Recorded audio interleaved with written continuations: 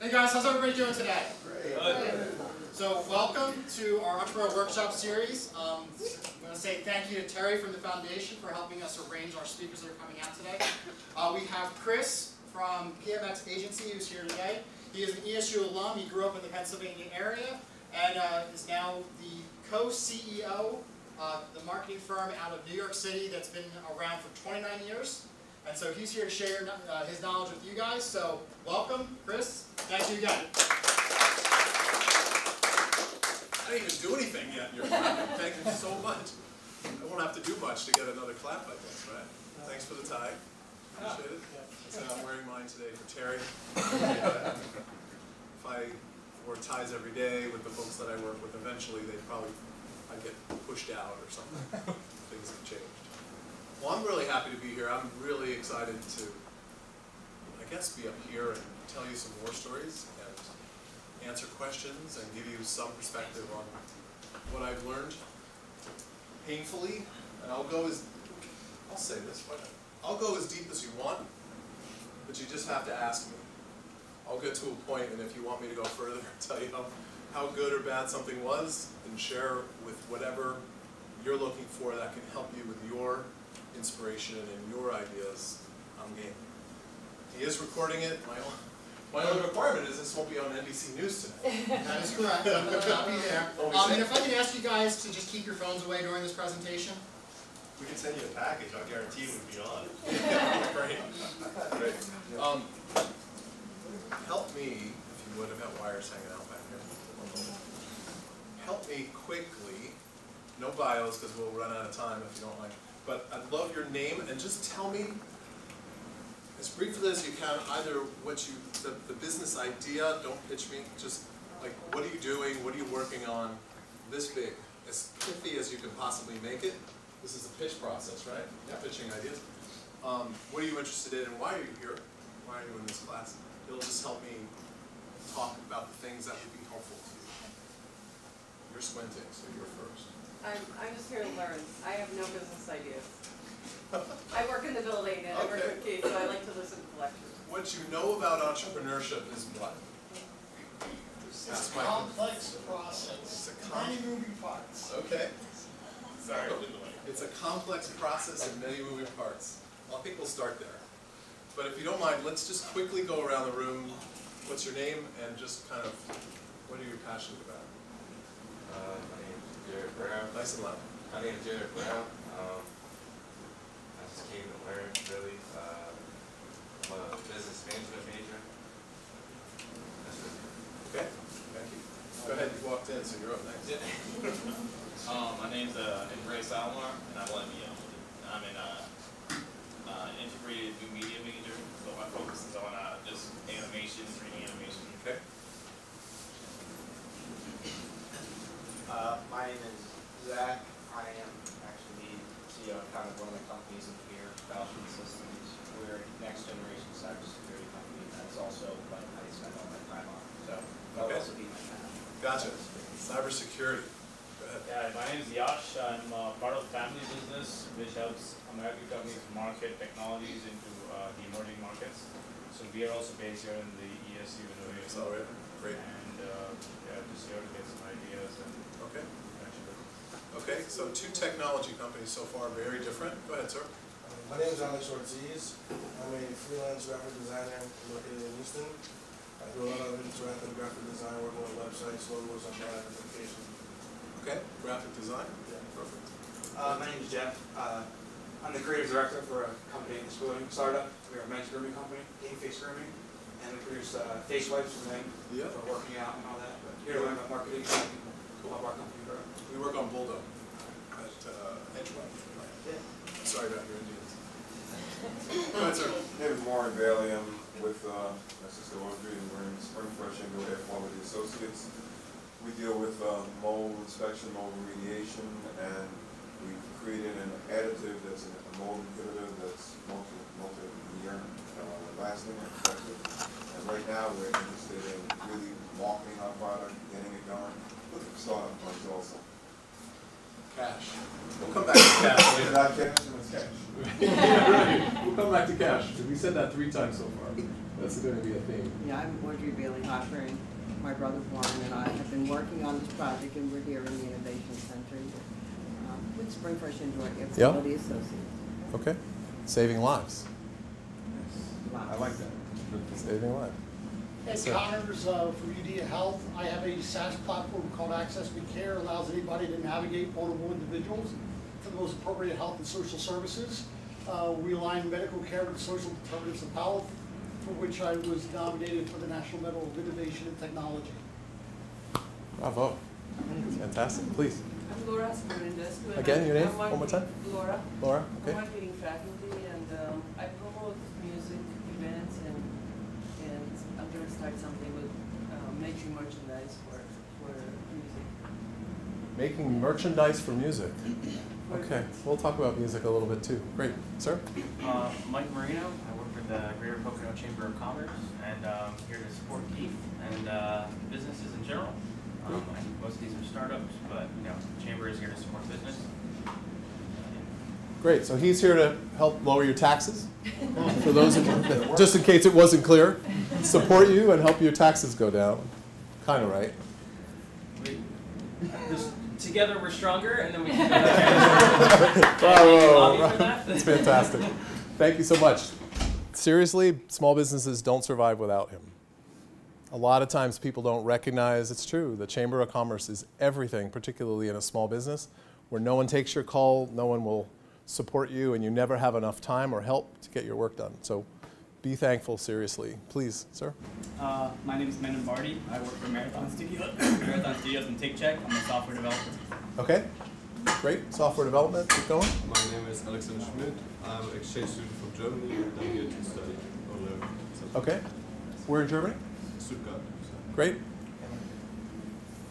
Yes, sir. Uh, I'm Michael Weiss. I'm interested in online marketing and I'm here to learn as well. Online marketing? I know something about that. Somewhere that'll come up today, I'm sure. Please, go ahead. Uh, my name is Joseph Fitzgerald. I'm currently doing a internship with ESU's greatest design agency, uh, New Mind Design, and I'm a graphic designer. Just, just here to learn. So graphic designer, you all three know each other in the category, kind of? You all do? Oh, cool. All right. Go ahead. I'm Brendan Riley. I'm also part of New Mind. I'm a graphic designer and a, a freelance designer and artist. Great. Yeah. That's great. I'm glad you're here. We need more of you. Yes, sir. Uh, my name is Demetrius Guzman. I'm also a part of the New Mind team and uh, also a graphic designer, graphic design major. Okay. Please. My name is Suraj Shad, and I'm just here to learn. Okay. Um, my name is Nathan Orgy. I'm here to learn, and I'm also the president of the entrepreneurship club here. Gotcha. Uh, my name's Brady Campbell, and I'm just here to learn. Okay. Just broadly or specifically? Well, I eventually want to become a healthcare administrator. There kinda learn more about like leadership. Okay. It's always the second question that's the right answer. Sometimes the complex answer we had from our friend over here, it's the ninth question actually is the one that nobody asks first. Go ahead. My name's Olivia Hockenberry, and my tourism, my major's hospitality and tourism management. Okay. Uh, came here to learn. Great. Hospitality. Should I keep going or do you want to participate or you're learning too? Okay. okay. Thank you very much for doing that. It just, I do this a lot and I got really lucky in business and I've worked really hard for all my luck. But the reason, the only reason I'm in business and the only reason I'm an entrepreneur has nothing to do with marketing, although I love it. It has 100% to do with people. Not 99, 100. And we'll talk about that and why that makes a difference, particularly for online marketing and growing and getting sales and getting new customers. Um, but I got very lucky in my path and my choices along the way. Um, so, quick rewind I did go to ESU. I grew up in Coopersburg. That's it. Nobody knows Coopersburg. it's, it's that big. Um, and uh, I'm a speech pathologist and audiologist with a psych minor. And I guess I decided that when I got a phone call from a friend of a friend that his head salesperson in New York City had died, and he offered me the job. I thought that would be a good idea. I guess I can take a job in New York. I had never been to New York, but I was working in um, I don't know what it's called now. It used to be Allentown Sacred Heart. Is it Lehigh Valley Medical Center now? Yeah. So I was working with stroke patients and trauma patients, the kids that would crash motorcycles and snowmobiles and all kinds of things, that would lose their speech and lose their language. And what I learned there was the only way I could actually help them was to understand the human, which sounds so cliche for anything medical, but profoundly underscore is really the takeaway. And in entrepreneurship and anything innovative and anything new, the word profound is really, really important. So my pathway took me to New York. I worked for this gentleman that owned a small um, marketing company in New York. He was evil. Everybody should work with someone evil in their career. He was a really bad guy. But I learned a lot, and he let me do everything. My first experience in being an entrepreneur was working for Ted. And I'm a, I'm a big guy, but I'm a lot smaller than I used to be when I went here. And uh, I was there about three months, and he said, We're going to go get our money. I'm a kid from Pennsylvania. Everybody's nice and pleasant. I didn't actually know what that meant. So he said, I'm going to go get, I'm going to go get my money. You should come with me. So I said, sure, let's, you know, I'm going to go get money. So he said, this guy owes me 17 grand. We're going to go get my money. So now I'm kind of processing like maybe the football thing is going to work out. Being big may be helpful. I'm like, I just started working with this guy. And uh, so he came in and he said, the gentleman's name, is he here today? And she said, no. And he said, he is. I know he's here. I can see him. So he said, come on, we're going to get him. I swear to God, this is true. Now I'm in the middle of a Godfather movie, basically. and he said, we're going to go get him. So I'm, like, okay, let's go get him. And so he said to the guy, you owe me 17 grand. And the guy said, I don't owe you 17 grand, and I'll skip the profanity. And I won't do it. He grabbed his phone and he lifted over his head and he said, Get out of my office. Now, you have a couple of choices. I'm the get him guy. right? a couple of choices. Most of them start with the word no. And then I saw two bigger guys come in and they helped me out of the office. So clearly, this guy had money problems. Cash, right? We said that four times so far. Cash is everything. So uh, anyway, I left that guy after that scene, and then I moved out to New Jersey. I worked for another company where a husband and wife team owned the company. Sister, brother? Any of you husband and wife? Don't do it. I still have my wife after 34 years. Uh, and but we learned that after about six months, that was a really good idea because you don't get to have both usually. Um, but I worked for a husband and wife. It was a, not a good situation. They were brilliant marketers, and I learned everything at that young age about what I could about marketing. And I learned a lot from them in, in five years. So I'm very grateful about that. But if you ever get offered to work for a company that's owned by a husband and wife and they're both there, I'd pass. There's a lot of other companies that you can have choices. Um, it's just complicated, and you're not in the family. So, so I, I went there, and honestly, after the Get Me guy and the two of them, I just, I just didn't want to do it anymore. I just didn't want to work for people that didn't care about people. And I just said, I quit. And uh, so I called my wife and I said, I think I want to start this business. And I didn't really know too many people in New York. But my wife, Angela, came with me, and my really only friend in New York's name is Angelo. So you're getting something here that most of the people I know are Italian, at least in my early, early career. And we're jewelers, which is kind of unusual. But Angelo and I started the company. And so our core business, and I'll go to the, some slides in a second, um, is all around marketing and all around marketing to consumers and getting brands and people connected. So whether it's business to consumer or business to business, even if you're selling to businesses, it's still those businesses' customers that are actually using your service. You're cleaning their air, right? The people who pay you, that's just your check payer. Those are not actually your customers. And so figuring, figuring out who's my customer in a profound way who are they? Where do they live? What are they interested in? What are they passionate about? What do they wear? How do they talk? Where are they from? What's their background? How many kids? What house? No kids? Do they have a car? Do they drive? I mean, all of that information, data, is really, really important. In the old school way, you just asked a lot of questions over many, many years and eventually you accumulated knowledge. Now we can know like that. So marketing, design, has fundamentally changed because we can know a lot about people very, very quickly. And so that has changed marketing and changed business. And so I was saying earlier uh, to Keith that what I did really well with my partner is just follow the bouncing ball. I started off in offline marketing, and then email came out, and then search came out, and then Google launched, then Yahoo kind of gave way to Google, then Facebook came out, and, and, and, and I just kept following it. And so our capabilities now range from digital media, online marketing, offline marketing, content creation, social creation, creative, design, all around trying to solve usually just a few challenges. Who's my customer? How do I get more of them? How do I grow? In whatever form that means, more customers, more revenue, more profit, more cash.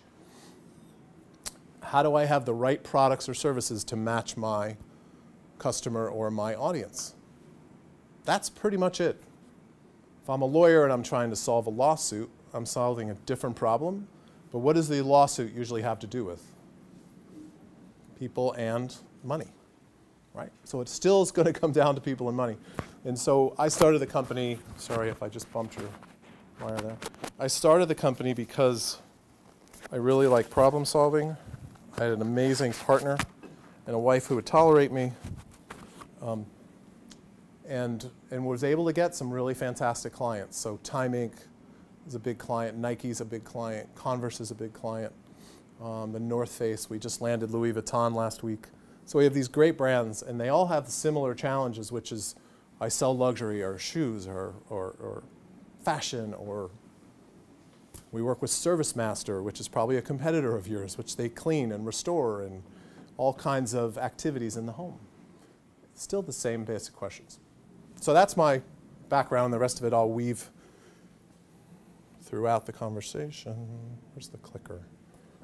Got it. So that's us, consumer-driven performance agency. There's 300 of us across eight, across eight offices in the U.S. We're about to merge with a global company, which will make us 700 in a bunch of countries and more numbers, whatever. But it's essentially taking our business and going global. So we're engineering that deal and then a bunch of awards and things, which I can send you this if you want. This is important. 70% now market and communicate with their customers across channel. And if you think about your own life, most of it is driven by this. In five years, you will not be walking around with this. So those of you who are app developers, don't stop here. You've seen voice and where voice is going. 50% of all voice of all searches will be voice in the next two years, which means we don't need that anymore. We don't need really Google for think how crude that is. Search, text, pop-up. I mean, it's going to evolve very, very quickly. Um, and so we have size and scale that we can work any, with anybody. That's really the point. That takes about 20 years to get that, at least for me, because I didn't take any outside capital. And I didn't really, I just didn't want to go into that movie of having to owe somebody money all the time. A little bit different now, because I did take an investor on in uh, July of 2016, but just the logo bingo here. What's interesting is that we've never specialized, and so you have, you know, Mattress Firm used to be Sleepy's, and a bunch of other brands as a client, Samsonite, HP, Hewlett Packard, Nike, Ace Hardware, a bunch of brands you probably know in here. Edgewell is about 18 brands. P&G up here? No, P&G is a client. They have a bunch of different brands from Crest to Dove to Head and Shoulders and all kinds of brands like that. What do you think is the biggest disruptor to uh, consumer product businesses today? Right on. Amazon.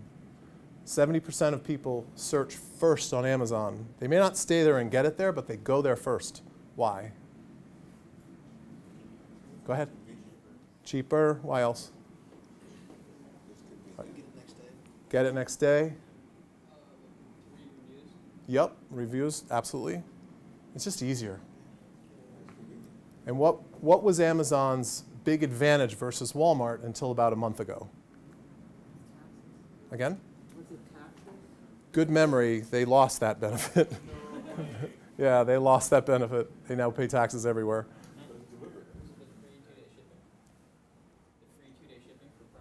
Uh, that's definitely a strength, yep.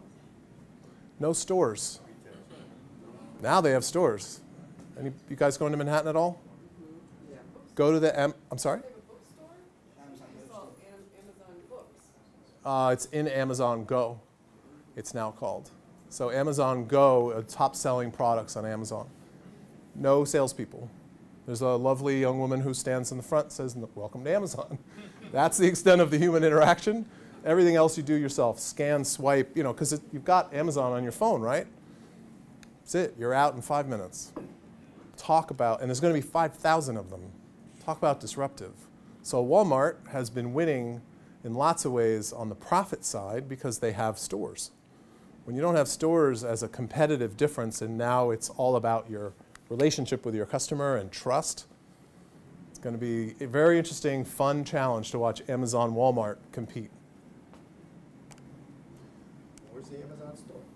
It is on Prince off of Houston. Do you all the product, actually? Yep. They keep inventory? Change it every day. Products change every day. Whatever is best selling today, that's what gets in tomorrow. Yeah, it's not a great experience if you're walking in to get, you know, feel like, boy, this is a great environment. It's bad lighting and you're in and out. But that's Amazon, you know. Excuse me. So this is who we are. A consumer first performance marketing agency. What are we? So what differentiates us? This, these relentless, transformative, and data-driven, talk about that a little bit, is very much who we are. These five definitions or words kind of define who we are with the creativity piece at the end. That's the music part. That if it's just trying to solve everything with math and data without creativity, no one cares. You have to connect in the heart. Even Amazon, despite that distilled kind of sterile environment, we just defined all those things that are special about Amazon. That's why we identify with that brand. You wouldn't say, oh, I go there because they treat me like a king or a queen. Amazon, they treat you like a king or a queen only because they can give you what we just said. Faster shipping, cheaper prices, it's easier to get, I can get it tomorrow. And then our culture, um, very much driven by that customer service, uh, customer first. So we just started working with Hugo Boss. You all heard of Hugo Boss? So the head of marketing said to me on Monday, he said, here's how, I, here's how I would define working for us. And this is what I care about. It's not here, by the way. He said, when you walk by my store when I'm closed and the windows are dirty, I want you to text me. Now, I still haven't figured out whether he actually meant it, because Hugo Boss has a lot of stores. But what he meant was the details matter. The details are everything. And you, those of you that design or code, you know how important those minor details are when people are passionate about something. And it really struck me when he said that to me that that's where we are now as a consuming society. We care about everything. And we're in charge. Consumers own it, not the brands. It's all about us. I took investment from the Stagwell Group in July 2016. Our company, I'm still a majority owner of it, but we are part of a network of a bunch of other brands. So we now have the, the scale to work with any, anybody everywhere with a, a major um, footprint across the globe. So I always wanted that, and um, I wanted very, very small investment group and a lot of money because um, I just didn't want the complications of too many people and a board that didn't care. So I have two investors. Uh, one is Mark Penn. Mark is the He is the, the, effectively the CEO of the Stagwell Group. Mark worked uh, for the Clintons. He worked for a variety of different global public, political figures and put them in office. Very, very brilliant guy. Um, contemptuous for sure, um, but he totally pushes us to get better, and that's exactly why I took. Um, why I took the money. And the second investor is Steve Ballmer, who's one of the co-founders of Microsoft. So having these two guys, what I really wanted was money so I could buy some stuff, and I wanted my I wanted people to take my call. The head of P&G is not calling me back. As much as I think I'm good at my job, he's not calling me back. But now I get called back. Steve doesn't make a call for me, but he certainly helps. I'll just get by this. Just some interesting factoids. I'm sure you know this. We use our phones a lot more, and TV's going down. But what's happening in TV? Again? Right. So classic linear TV is going down, but connected TV, I can be watching a show in two seconds. Think about your TV. As much as we have more content and all this access, it's still a pain in the neck. You got to go upstairs, you have to sit down, you get the clicker, somebody's arguing, you flip it on, I don't know what channel, what's on, what's not. You talk, for most of us, it's two minutes. On a phone, on a TV, I'm instantly where I want to be. The same has happened to billboards. How have billboards changed? I'm sorry? They're digital. They're digital. Always changing. They're always changing, right? So you go down, you go down the highway, you go down Route 80, right? 80 or 78. You go by the billboard, it says one thing, and just as you're going by, it flips. Terry had asked me earlier, how long does it stay on? And I said, well, it depends how much you want to pay. Certain things, if I'm selling ER services, you've seen it, right? ER services, and they say waiting time at the ER. I don't need to wait very long. You don't have to convince me, hmm, what's an ER room or ER service? I know what that is.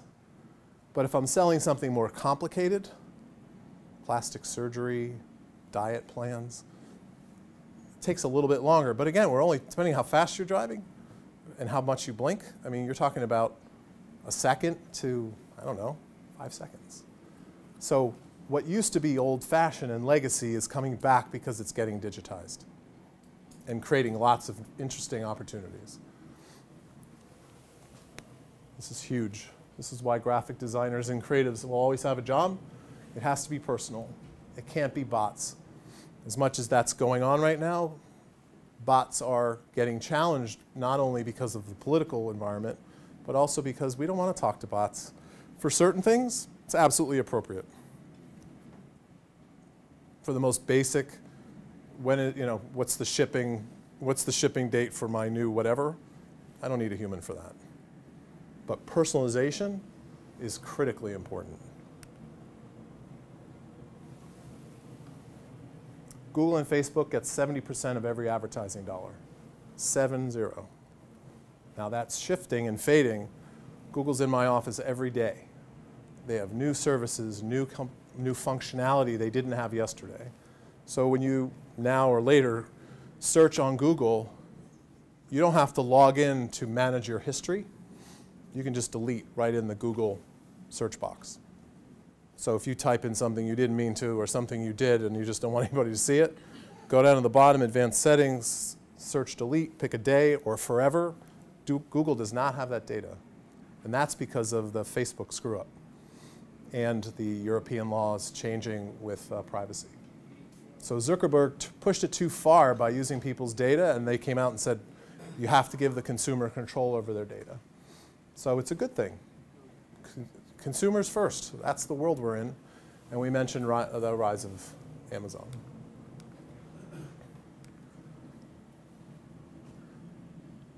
Just a little bit more, and then I'll jump to entrepreneurialism. But I often say assumptions are dangerous, conclusions are lethal. On my best day, on my best day I can remember, I've known about 50% of what I'm supposed to know. And then I wake up the next day and I know about 20. Every single day, the marketplace and the behaviors of consumers, all of us in this room, changes. Or something gets imposed on us. So that example I just gave you about Google, the only reason you know that is they're in my office every day. That is not public. That's a beta test that's happening right now. Tomorrow, and if I check my phone now, there's going to be something else that just changed that's going to fundamentally change my business. So I happened to, today's Thursday. Monday I sent, Tuesday, I sent a package to Mark, who heads up Stagwell, because um, I wanted to thank him for some contributions that he had made and introductions that he had made. So I sent him a package. Had a letter. It had a very interesting, kind of clever way I packaged a quote that he made. And I sent a package to him to arrive yesterday. Think about what happened yesterday. How does that package handled yesterday versus one day earlier? So today I called Mark, text Mark, never answers. And I said, by the way, you're getting a package from me. I promise I didn't put a pipe bomb in there. Please open it. I promise you it was from me. So the world just changed again. Not because I sent a package to Mark and had to call him, but what changed was not just one person got something in a mailbox in a package. However, I don't even know how many there are now, nine or 10 or eight. Everything changed. So communication with a package just changed. Every day things change. And so if you make conclusions about what's true, especially as an entrepreneur, you're dead. The only way you survive is constant movement and change and evolution and experimentation. So we put clients on two tracks. A core track, which is the keep doing what you're doing, make it a little bit better, grind out money, and the experimental track which is the constant testing of new ideas, which is what happens here. Um, and thank God for this place and you, for real, because there's not enough experimentation. Everybody talks about it. Oh, we've got to try more things. If you go to most companies and they say, I'm going to give you a million dollars inside the company, I'm going to give you a million dollars to come up with the next great idea. Where do you think the, the million dollars goes? If I work for a, a big company and someone says, you're in charge of new product development, I'm going to give you a million dollars. How much of that million dollars do you think actually goes to developing the new product? Anybody? About 20%. Where does it go? Desks, computers, people, overhead, unions, all the stuff that comes with big companies. They're good at certain things. They are terrible at experimentation. Check out the earnings of GE over the last 10 years. $500 billion lost in market cap. If you owned GE 10 years ago and you bought it for 100 bucks, it's now worth about 50. That's GE. They're selling their like light bulb business and some of the other basic core practices that they've no, been known for, because they can't make any money.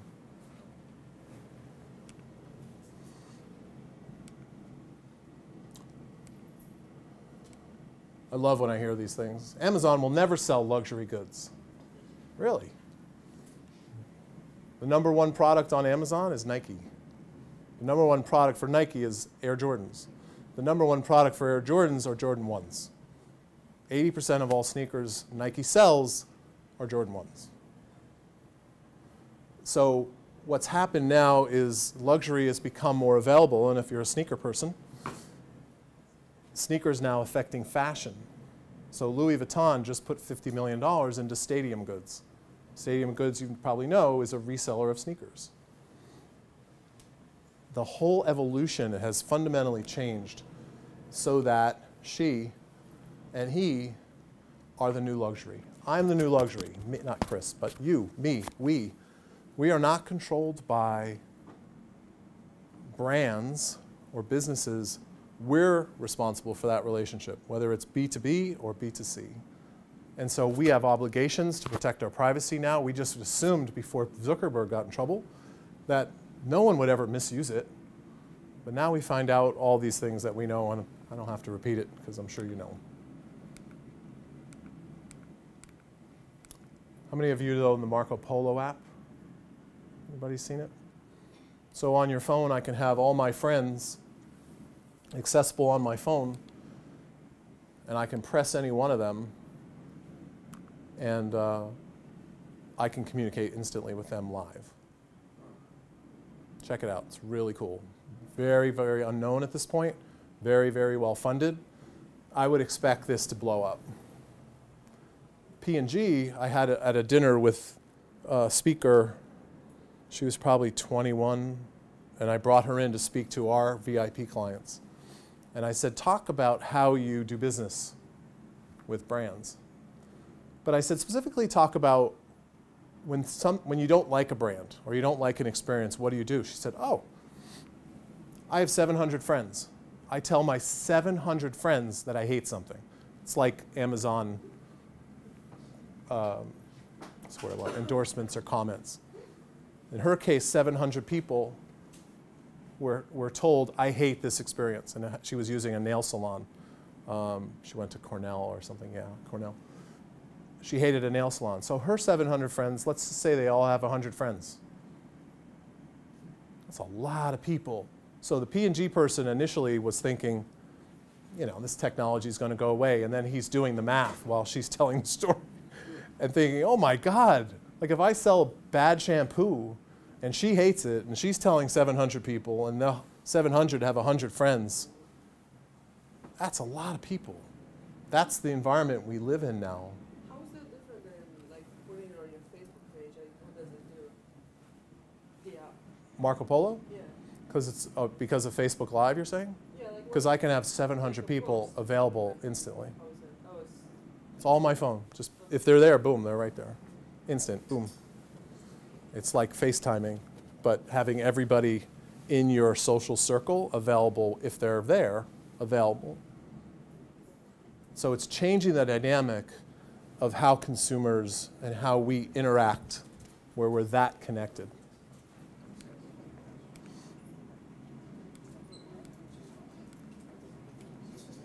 Should I pause here? Questions? Keep going, seriously. But do you have a question? That I? No, we were discussing how the similarities between that and Skype. Yeah, definitely. Yep.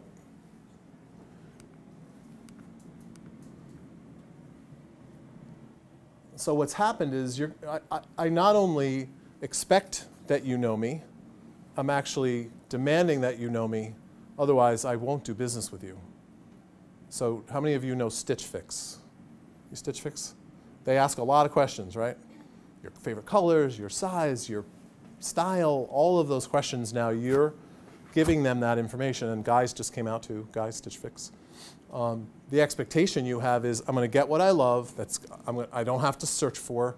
It's going to fit because I told you this is what I want. If you don't like it, you just ship it back. This dynamic now between our expectation and what's possible, the close between our expectations and what data can enable is all right now. And so it's creating this tremendous opportunity, but lots and lots of data challenges and privacy challenges, challenges and regulations. Are We okay on time? How long do I have? We started like quarter after, right? Okay. and share with us, the better we're going to be able to style for them and personalize their experience. Um, but that's also a high bar that we have to live up to. Brands can't just say that, they have to live up to it. And so when a client tells us, like, I don't like purple, or I have too much of this, or I have something just like that, like, we need to be able to be capturing that information and be able to deliver a better experience with his or her feedback. Um, and, you know, I think that's not So that's Katrina from Stitch Fix talking about the customer experience. And you saw the CEO of Nike and the CEO of Walmart. They're all saying the same thing. Even Macy's, they have a, which you can't really see very much, their, their business is actually doing extremely well. The new business. The legacy business, they're closing hundreds of Macy's stores because that legacy business they just can't turn around. And I'm sure you've seen Sears is shutting all their stores. You have to keep up, and the consumer will take you there. I'll just go through this and, um, and then pause. So, the most handsome man in the world, maybe. Brad Pitt's, that's a long time ago, but I'll tell you the story in a sec. Um, you know, it's incredibly handsome for all the right reasons. Uh, this is about Levi's. So, Levi's 12 years ago, almost out of business. What's our favorite word? Favorite words, cash. They almost ran out of cash. Levi's ran out of cash. How many of you own Levi's? Most. You at least know the brand. Uh, just shout out, what, what's, what do you do in your Levi's? Anything particular? Anything different you do in your Levi's than any other pair of pants you have? Cut the grass. Cut the grass? What do you do? You work, uh, you sports, but I don't know what you Anybody else have a Levi's story? Most people hang in them in some way, right? They're comfortable, they fit.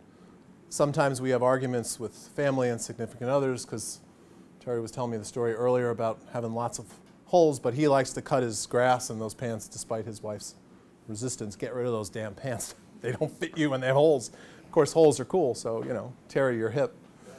Um, the CEO of Levi's came in and, and figured out pretty quickly they actually didn't know who their customer was. And they didn't know why people cared about Levi's. He thought they knew, and people thought they knew, but they don't really know.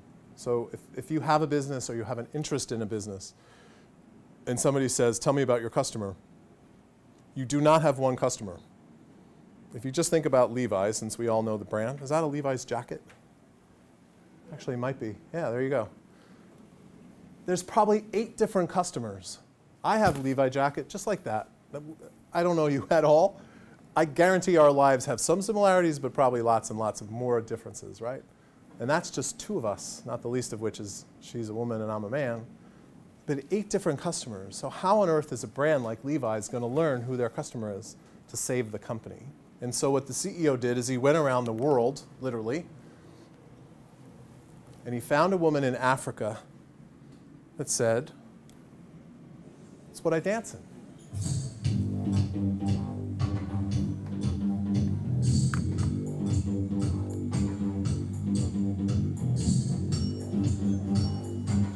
You've probably seen the ad, right? Probably the short, that's the longer version of it. What he found was, and he meant this as a metaphor, it's what I dance in. Now, in her case, and that's actually her, she danced in it. That's, those what, that's what she did in her Levi's. That's brand connection. When people talk about Harley Davidson, the percentage of people who own a Harley that tattoo their bodies with Harley Davidson, very, very high. Way over 50%. If you get someone put a tattoo on your body, that's a customer for life. what's next closest to a tattoo? If you drive a car, what's or a vehicle, what's the next closest? A bumper sticker. You put a bumper sticker on, like you've seen the ones that said, you know, my kid's a whatever in his kindergarten class or her kindergarten class, an honor student, kind of proud of the school, right? We need more stickers, ESU stickers on cars. That's how people want to connect with brands. So I have, I'm a musician in another life, so I have lots of music friends in, in music, and two of them just got off tour, and I said, "What did you learn that was the most profound thing about being out on tour?" And both of them had not been on tour in probably, I think, 10 years in one of them and seven or eight years in the other. This is around the globe. And they said the same thing. They've never felt an audience want, crave connection more. And it wasn't just, I love your music, oh my God, I love that song. It was, talk to me about who you are. Where'd that song come from? That's me. I see myself through that. Despite all of this communication and all this connection, what are we actually missing? And thank you so much for not having all your phones out. When you go back on campus, right, what do we all do? And what's the number one thing all of us have that nobody talks about? Not phones. Anything. What do all of us have that we never talk about that changes our life? Social media. Social media, yep. But how, how do we consume social media, music, headphones? Think about how things have changed with headphones. Right? You got, I mean, you're all young, but you're, you're old enough to remember when not everybody used headphones. See you later. Yeah, catch you later. Bam, you're out. Now it's my problem to interrupt you listening to whatever you're listening to. The whole dynamic flipped. That's why marketing is so hard. Getting someone to remember your brand really hard. Somebody to remember they might care about your brand, maybe take an action, harder. Write a check, give you cash, give you a debit card, give you a credit card. Getting somebody to write to give you money. How many proposals have you done for clients? And you walk out and you go, that was amazing. That was the best meeting ever. Not enough sometimes, yeah. And how often it turns into, into a real project that turns into money is a pretty small percentage. So I just wanted to give you that perspective, and with the time we have left, dig in deeper on entrepreneurialism and startups and innovation. But just to give you a perspective, and I won't keep going through this, I'll just stop there. But I wanted the chance just to open up the conversation about what it takes, what it is, what it isn't. Why would you start a business is really, really important because it's very, very hard on a lot of levels. So these are the, some of the words that come to mind for me when I talk about being an entrepreneur. But let's talk about what's good about it. So if you have a business or you're experimenting with one or you really want to have one or you dream about doing something in hotel management and restaurants and there's something in there that maybe you do want to do for yourself one day, what's really good about it? Doing anything on your own for yourself. We have a great, great amount of independence. So more independence. Everybody get that? Who else? Anybody? You have a passion and you do what you like. Yep. Passion and do what you like. Life is really, really long. You always hear the phrase, life is short. If you don't get a terrible disease along the way, life is really, really long. You better do something you love. You get a chance to screw up four times before anybody notices. You could screw up four, maybe five times before you're 28 or 29, and no one cares, no one notices. You do not have to be right the first time. In fact, I'd say, please don't be right the first time. Keep evolving, whether it's your own business or what you're experimenting in your career. What else is great about it? So, freedom, doing what you love. What else? Help me out. This is for you. Go ahead. would say like, I would say like responsibility, I guess, like you have, it, it kind of validates you in a sense. Yeah. You know, you're not just a guy taking orders. Something like accountability, Yeah, right? Even if, even if you fail, I mean, it's kind of like you fail on your own, on your own accord. Yep. Everybody get that? Agree with that? Keep going. Anybody? Well, like making a difference. Making a difference, sure. So when they get mold, he finds a reasonable way to protect somebody's health and happiness. Yep. Yep. Certainly a financial success. Financial success, definitely. Yep. Yep. What's the percent of businesses that make it past a year? Really small How small? in terms of, I don't remember the exact number. Is it like twenty percent? I think it's like ten or nine percent. Yeah, about 9 or 10%. So if I said to you, I have this amazing idea. You and I are going to go in business together, and let's have this guy join us. And we're going to take on the world, and we're going to make a million dollars, what, $10 billion, whatever your number is. And I said to you, all right, let's all take our money together, mom and dad's money, my money, friends, whatever. We're going to put it all in a pot, and we're going to start a business. And I said to you, 90% chance you're not going to be here in a year and you're going to have no money. There's a part of you that probably say, ah, that doesn't sound great. My fallback position was living with my mother-in-law, which was amazing. I married into an Italian family. I never cooked. She did my laundry. It was incredible. My downside risk, I had no kids. It was just my wife and me. I was like, this is amazing. Thank God that was the case. But if I said it to you that way, doesn't mean you shouldn't do it, but you really get smart about cash and it makes you understand the risk. Yeah. But your downside, I'm making this up, your downside risk would be like, I'm not going home. No way. I don't know your situation, I'm just making it up. I'm not going home. That's it. I'm out. I'm going to figure it out somehow, right? So the independence comes with risk. What else is positive? Our friend from Germany. What's positive about having a venture of some kind? Being your own boss. Being your own boss. Yeah. At least for a while. Until you get clients. then they're the boss. Anybody else? Sure. opportunity to explore and expand on Yep. Yep. To continue riffing and evolving an idea. Absolutely. You want to add anything to that? Given how much you see here? I think it's the like-mindedness that you find within entrepreneurs is really fascinating. And as you're going through this like iteration of trying to figure out what your why is, figuring out what your idea is through this process, being around other people that are as crazy as you are, you realize that you're not as crazy because you've actually found that group that gets it and thinks that way. Yep. So I'm with you on that. But you actually are crazy. Seriously, you're nuts. Why would you do that? I just told him he's going to fail 90% of the time. I'm doing this 29 years. I have no idea really why I'm still around. I just, I'm a really good listener. And like this conversation I do with clients. Tell me what I can fix. Go. It's, probably a little on the darker side, but the ability to consolidate power in a sense and actually make a direct personal impact on a world or a group that where you can command change. Yeah, man, that's great.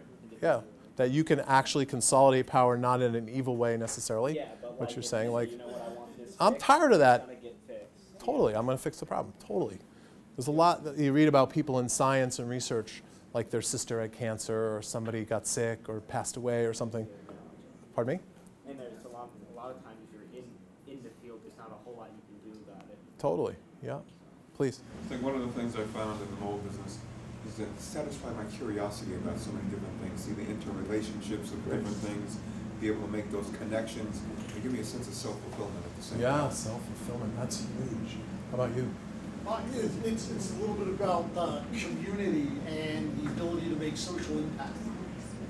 Yeah. So at the end of the day, it's not just yeah, I did, I sold stuff or I made stuff. Right. Like I actually helped somebody. Exactly. Yeah, it's tremendously satisfying. So let's talk about the negatives. I'll get. I'm. s- yes, sir. Tired all the time. I never get enough sleep. Tired all the time. I had to take a nap before coming here. Okay, you can t- you can sleep now if you want. You're tired all the time. Oh, so how many years have you been doing it? I've been doing it in ten. How many years, sir? Four years. Four. I'm a retired teacher. Okay. Any oth- any other people running businesses? How many years? Eight years. So I'm, I'm with you, and I'm 29, and I'm still exhausted. I'm still exhausted. Every every day I wake up, because I'm a night owl too, which I'm sure you guys are. Every day I wake, I'm like, oh my God, I'm I, how do I get from here to that bathroom? There's got to be something other than stimulants that can get me there. It's really hard. Not a lot of sleep. Other negatives. Financial risks. Financial risk. That was a big one. Social pressure, Meaning, if you screw up, everybody laughs at you.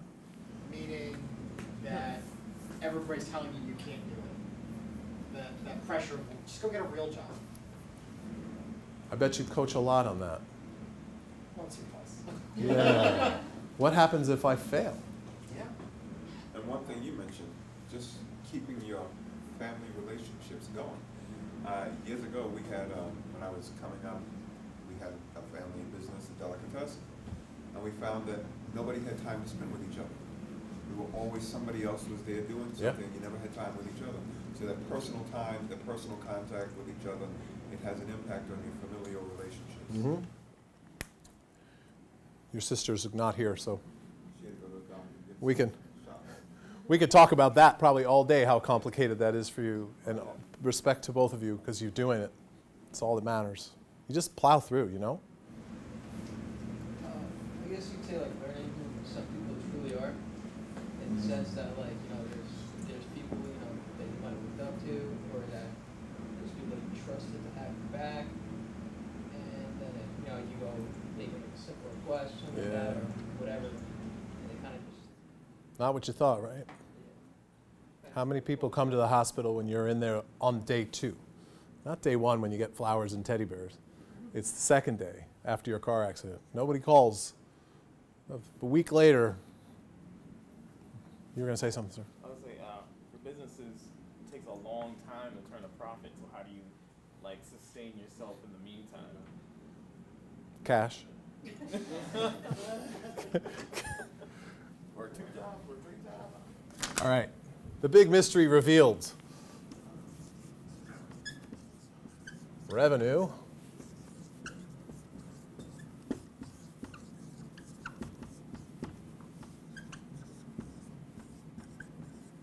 Sorry. Sales, revenue, profit, cash, and cash flow. They are not the same thing. What is sales? Someone paid me a dollar? I sold them something, whatever it was. They paid me a dollar. Revenue, how much it cost me to make that dollar, right? If you had to grind it out on a manufacturing, or you had to make something in graphic design, or you're working on a software program, or um, the young woman that was here about music, it cost, in, in her case, an instrument, strings that break, or lessons that she had to take, or technology profit, building, overhead, heat, rent, chairs, computers. People get sick. They have babies. I always, the joke in, a, in the company, I stopped saying this now a few years ago, but if you're going to have a baby, please let HR know before you decide to have one, and we'll be glad to approve to that. You need approval. Not because we, we love babies and we want more of them, but boy, are they unproductive in a business. They're really hard. Cash, not the same as profit. What's cash? Anybody? What's cash? Well, I guess it's, it's like how much liquid operational budget you have. So for example, uh, a company we've been talking with, I know Check Point Software, which is a really large cybersecurity vendor, they currently have 4.2 billion of liquid cash that they can spend on any type of investment they want. Yep. As long as they don't outgrow the 4.2. Right? Apple had 70 million, 70 billion dollars in Ireland. Nobody was talking about until this country and this president decided it's time to start paying tax on the 70 billion.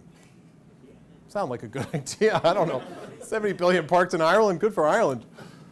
Cash is not the same as profit, right? $100 less 20, that's my cost.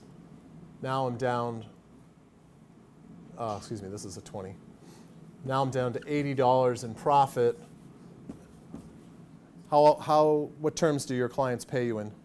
How quickly? You send them a bill, how quick do they pay you? Oh, sometimes you, you, you- if you're doing, a, you're doing a remediation job, you get part of it while the job is going, and the final portion, which is always contestable, is after the job's finished. After the job is done, but you're still paid within a couple of weeks. Yes. Yeah, thirty days on the site license up front, and then uh, monthly SaaS payment. Okay? Okay? So now I'm paying bills when I have no cash. Right? That's your point. Really hard. So you work harder. Cash. Cash is not the same as cash flow. What's the difference? Yep. cash flow is how much you're getting in and out on the daily basis. That's right. I have a bucket of cash, but if I have a bad month and everybody, like I have a client that literally called last month and said, We're flipping our terms from 60 to 90 days. That's a brutal hit. So 30 less days I get paid than the month before. Now, it's fine. We have got plenty of cash, thank God, but right, the difference between cash and cash flow. So financial pressure is very real always measuring the difference between how much cash do I have and the cash flow that's coming in and out and what my um, opportunities are. That big project that sounded so amazing that you're not going to make any money on. Yeah, but we need clients. Yeah, but we'll never sell the next client unless we have a client. But if you lose money on that client, you're not going to have any money to do the next project. Yeah, go ahead. How do you get the massive clients, like these like large scale, like high profile clients that you get? It's like, do you have to have smaller clients beforehand? Yep. Just like a massive repertoire, then like sell Yep. it to them? Yep. Small clients. How much time? I'm out? Yeah, a couple minutes. Okay. Oh. Small clients to medium sized clients, what happens is generally small clients, people at small clients tend to stay at small clients. Small clients have a hard time making money. Very few small clients go to medium sized companies. Medium sized companies is where you can make money. Don't take a small client and lose money because you'll never make money. And they, uh, small client people tend to go to small client companies. If they quit, they just go to another small company. And I'm not judging that's bad or good, it's just reality. Big company people tend to stay at big companies. Yep. So you're saying for like the business starting out, don't aim too high, don't aim too low, and kind of just aim for like the middle ground where you can grow? Yep. Yeah, the big ones, the risk is too high. If you mess up, your rep is destroyed.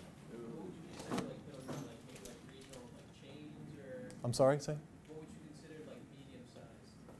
Depends what industry.